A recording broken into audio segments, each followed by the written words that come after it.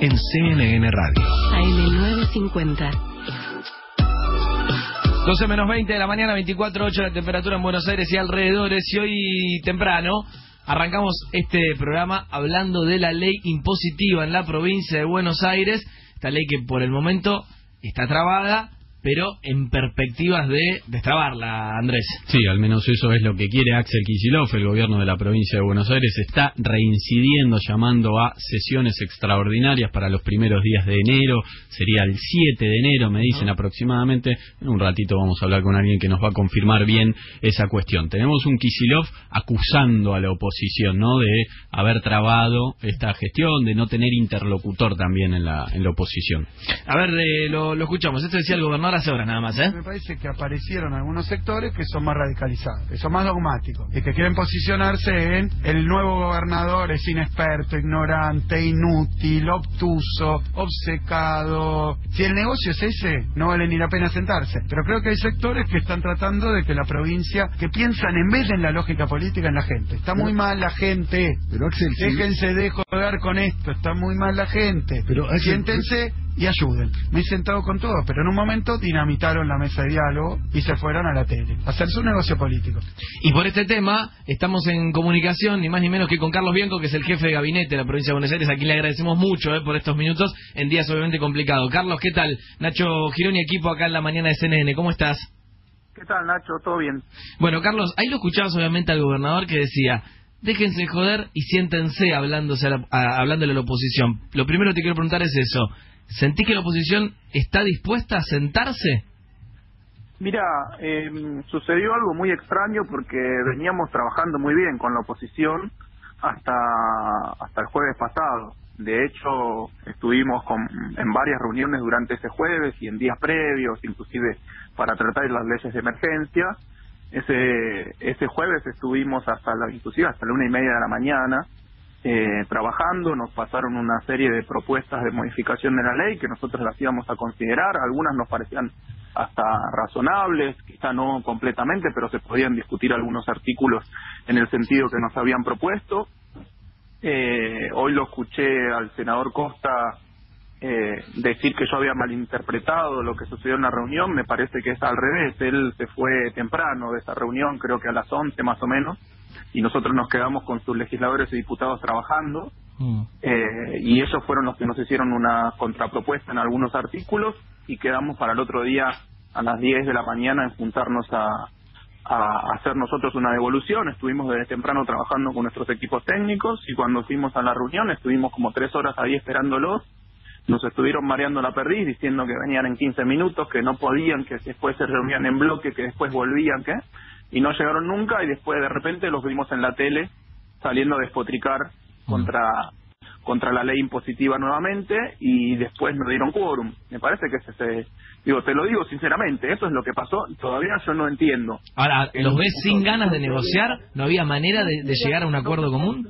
Y me parece que es un poco lo que dijo Axel. Hay algunos sectores de la oposición eh, que son más constructivos, me parece, y más comprometidos con, con que salga una ley impositiva que nos permita hacer, atender las emergencias y hay otros sectores que me parece que no quieren llegar a un acuerdo, pero el problema general fue que durante esos dos días tuvimos más de cinco o seis interlocutores distintos y es muy difícil negociar así. Me parece que tienen que unificar la personería y sentarse a discutir seriamente. ¿Sentís que la orden de no aprobar, no apoyar esta ley impositiva que ustedes están proponiendo vino desde París? No lo sé, no lo sé porque también también todo eso coincidió con que la ex gobernadora estaba en vuelo, con que eh, la contraparte natural con la que veníamos negociando, que era Federico Salvay, tampoco estaba en Buenos Aires, o sea que me parece que se, se les desordenó un poco la cosa para la negociación, ojalá que sea solamente eso y que, bueno, como te dije, que vuelvan a unificar personería, que nos digan cuáles son los interlocutores válidos y nos, ponga- nos sentemos a discutir las cuestiones porque nosotros además estamos abiertos a la discusión, a las observaciones que nos hicieron, como te dije, muchas de esas eran razonables, nosotros pensábamos discutirlas desde la mañana, pero bueno, nunca sucedió esa mesa de negociación, eso fue lo que pasó y decidieron salir a discutir por la tele. Carlos Andrés Fidanza, te saludo. ¿Qué Te- tal, Andrés? Bien, te consulto este esquema de halcones y palomas que ustedes identifican dentro del de Juntos por el Cambio. ¿Te parece que es algo pautado? Digo, ¿es una danza ahí medio preestablecida o es algo efectivamente No. que, que hay diferencias? Yo no lo sé y dudo que le importe a cualquier bonaerense que está, que son muchos los que están en problemas en la provincia, problemas de salud, problemas de hambre, problemas de producción, problemas de empleo. La verdad que les debe importar un bledo a los bonaerenses, si son halcones, son palomas, son lo, o lo que sea. Lo que yo digo es que nos sentemos a trabajar porque estamos perdiendo una semana de recaudación para la provincia que necesita esos fondos para salir a hacer frente a las emergencias. Eso es lo que me preocupa a mí y creo que lo, debe- lo que le debe preocupar a los bonaerenses. Lo otro es eh, la interna, la discusión política. La verdad no creo que a los bonaerenses les, inter- le interese mucho eso. Carlos, eh, Pablo Manzotti, ¿qué tal? ¿Cómo te va? Eh, un- ah, dentro de este juego, digamos, de la discusión política que vos recién señalabas, una de las cosas que se dijo desde la oposición era que no se podían sentar a dialogar nada porque ustedes apenas habían eh, acercado un PowerPoint y que en última instancia no sabían y que trataron de colar una ley que era o que afectaba en última instancia a los bonaerenses. ¿Cómo es el tema entonces? Mira, nosotros sí acercamos un PowerPoint explicativo del espíritu y los principales puntos de la ley, pero también presentamos la ley el 24 de diciembre a las 14 horas, eh, y no era un PowerPoint, eran 150 páginas, como tiene toda ley impositiva, pero que en, en su cuerpo general, digamos, es bastante similar a la ley del año anterior, porque nosotros no cambiamos el espíritu, ni hubo revalúo, ni ninguna cuestión, solamente modificamos las las- los porcentajes, los topes segmentados como planteamos con nuestro espíritu de tener una, una ley impositiva que en promedio actualice el valor eh, a la inflación para no perder capacidad adquisitiva en un momento en que necesitamos tener los fondos para hacer frente a las emergencias y que además le pusimos un criterio de progresividad. Lo que yo entiendo es que a ellos no les cierra mucho ese criterio de progresividad y ese es el punto. Ahora, eh, hoy lo, contaba acá temprano Andrés Fidanza con incluso lo- los datos concretos de cuántos son los que pagarían ese famoso 75. Ya Axel ayer lo aclaró. No son tantos, pero evidentemente eh, tienen su, su, su poder de negociación. La consulta que te hago es, ese 75% famoso de impuesto inmobiliario, ¿es innegociable? Mira, eh, lo que yo te digo, te lo pongo al revés para llevarlo al ridículo. Eh, supon- ellos dicen que no pueden aprobar, o sea, ellos fetichizaron el 75, que no pueden aprobar el 75 porque su base de sustentación política se lo, no se los permitiría, o no se los permite, o se los cobraría políticamente, o lo que sea. O sea que ellos dijeron 75 bajo ninguna circunstancia. Lo llevo al ridículo. Suponete que nosotros dejamos el 75% de aumento para la persona más rica de la provincia de Buenos Aires y el resto decidimos negociarlo. Eh, estamos hablando de un ridículo, ¿o no? Sí. Estamos hablando de un ridículo. Entonces, lo que nosotros le propusimos esa noche, a la una y media de la mañana, es discutir a cuántos les impactaba el 75%. Yo creo que no puede estar en discusión que los tramos más ricos de, de los propietarios más grandes, con propiedades más valiosas, por lo menos los más grandes, no están en discusión de que puedan hacer frente a un 75 en estas condiciones y con la posibilidad además de que tienen de pagarlo en una cuota e igualarlo a la inflación. Porque una de las cláusulas que tiene la impositiva es que si lo pagan en la primera cuota se les descuenta el 20% y ellos llevarían al 75, al 55, que es exactamente la inflación del año pasado. O sea, no estarían pagando nada. Yo digo que las clases más altas, más pudientes, deberían poder hacer esto. Ayer también el senador Costa dijo que ellos representan a la clase media y a la clase alta. Bueno, ahí, ahí quedó claro para mí cuál es el problema. Bien. Carlos, ¿en qué estamos ahora mismo? ¿Se convoca sesión extraordinaria? ¿Para cuándo? ¿Cómo sería? Sí, nosotros no vamos a definir, pero en principio sería para, para el día 7. Para el 7 de enero, perfecto. Carlos, ¿cómo está la relación con la Casa Rosada? Digo, ustedes están consultando permanentemente, reportan, ¿hay alguna fricción? ¿Cómo está eso? No, no, no, para nada. Hay, hay cuestiones.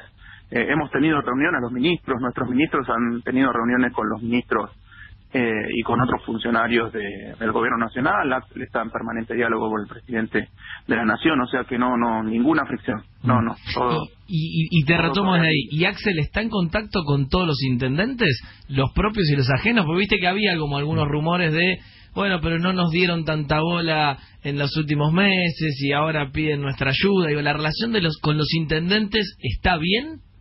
Mira, no solo Axel, sino todos sus ministros estamos en, en contacto permanente con los intendentes nuestros y con los intendentes de otras fuerzas políticas. De hecho, la semana pasada tuvimos una reunión eh, con todos los... Yo no participé porque justamente estaban en Cámara de Diputados negociando o intentando negociar esta esta ley impositiva, pero sí estuvieron estuvieron el resto de los ministros, estuvo Axel con todos los intendentes de nuestra fuerza política y esta semana tenemos otra reunión con el resto de los intendentes. Eh, así que, eh, y además, digo, no sé, todos los ministros se están reuniendo, hace solamente hace falta entrar al, al Instagram, al Facebook de los ministros, a las redes de los ministros para ver que cotidianamente estamos teniendo reuniones por distintas temáticas, productivas, de empleo, eh, de desarrollo agrícola, desarrollo social, etcétera, con todos los intendentes. No, la verdad que se está trabajando muy bien y, mm. y en mucha consonancia con todos. Bien, Carlos, van 20 días de gestión bonaerense. ¿Qué balance? qué... Hábiles menos, bien. Y, hábiles menos, pero digo, ¿qué, ¿qué, les sorprendió? ¿Qué balance hacen? ¿Qué cosas les llama la atención? ¿Son más difíciles, más fáciles de lo esperado? Digo, pensando en un Kisilov que viene de otro palo, economista, digo, fue ministro de Economía, que es ejecutivo, pero no tiene nada que ver con gobernar una provincia tan difícil como la bonaerense. Digo, su círculo, vos incluido, vienen de un palo parecido. ¿Qué, qué balance de estos pocos días? No, mira, la verdad que desde el primer momento, luego de la asunción, luego de la jura de cada uno de los ministros, nos sentamos a trabajar. Eh, eso que nos decían, no, van a encontrar la botonera porque no tienen experiencia. La botonera es muy fácil de encontrarla, es poner a los funcionarios a cargo, eh, funcionarios propios a cargo de las distintas responsabilidades, que hagan un diagnóstico rápido. Algunas cosas ya las teníamos mejor diagnosticadas, otras no tanto, hasta que vos no te sentás y mirás los números reales, las situaciones reales en, en, el escritorio, digamos, eh, con la botonera enfrente y empezamos a trabajar, digamos. En, algunas áreas estamos haciendo una cuestión más de ordenamiento eh, y en otras en otras áreas ya estamos avanzando con planes y con, con los planes que se, que se aprobaron en la ley de emergencia, fundamentalmente. O sea, nuestra principal actividad los primeros días fue eh, terminar de redactar la ley de emergencia, aprobar la ley de emergencia y empezar a funcionar a partir de eso. Lo que necesitamos ahora es aprobar la ley impositiva porque es la que genera parte de los recursos para, para poner en práctica los distintos planes y programas que se aprobaron en la ley de emergencia. Y después, bueno, lo que estamos viendo también es que eh, una cuestión bastante compleja es que muchos municipios están solicitando ayuda financiera a la provincia porque tienen problemas para pagar salarios, aguinaldos, cuentas de proveedores que quedaron pendientes, etcétera, así que también estamos tratando de dar respuesta a eso en la medida de lo posible. Pero bueno, nosotros, la verdad, Axel, creo que ah, el gobernador ha, sabido armar un equipo muy sólido, en donde hay gente que, él, como yo, que estuvo hace mucho tiempo con él eh, en la academia y también en la gestión de gobierno, yo en particular en Cancillería, pero los otros compañeros y compañeras en el Ministerio de Economía, con otra serie de, funcionarios políticos que, que tienen más experiencia. Me parece que se, se ha logrado esta, un gran equilibrio y todos estamos trabajando en ese sentido. La verdad que, eh, la verdad hoy el principal problema que tenemos es aprobar la, la ley impositiva porque es una necesidad para avanzar con las con el ataque a esas emergencias que hemos declarado. Carlos, te consulto por alguien de ese equipo que no viene exactamente de la, academia y que me parece que sorprendió un poco su designación. Sergio Berni, como ministro de Seguridad de, de Kisilov. ¿Cuál fue el criterio para elegirlo y ponerlo ahí? No, mira, Sergio tiene una grandísima experiencia en materia de seguridad. Eh, él fue viceministro de, de Seguridad de la Nación, fue secretario de Seguridad, eh, o sea, el criterio fue ese, digamos, eh, experiencia en la materia, él nos presentó un programa de trabajo muy claro en donde él iba a recorrer toda la provincia y lo está haciendo, iba a recorrer toda la provincia para, para mm, de primera mano él observar cuál era la situación de la seguridad, de la inseguridad, de las condiciones en que está trabajando la policía bonaerense y eso es lo que lo que Axel privilegió, ese plan de trabajo y esa experiencia vastísima que tiene Sergio en materia de seguridad, bueno, de su época, de sus épocas de, de soldado, de cirujano militar, etcétera. Digo, la verdad que es un gran compañero, está formado y además además de todo eso es un gran cuadro político. Prepárense para las polémicas dialécticas con él, porque eh, lo entrevistamos hace poquitos días acá, por ejemplo, y no, le esquiva el bulto a eh, interna con Frederick, este narcotráfico, legalización. Eh, prepárense, ¿eh? Eh, sí, a ver, nosotros, lo- todo el equipo puede tener algunos matices, pero me parece que está todo muy alineado en términos políticos. Eh, mm, al- me parece que la polémica con Sabina, eh, me parece que fue alguna malinterpretación de lo que dijo, pero eso está, eh, si hubo algún problema ya está saldado, no hay, no hay ningún problema.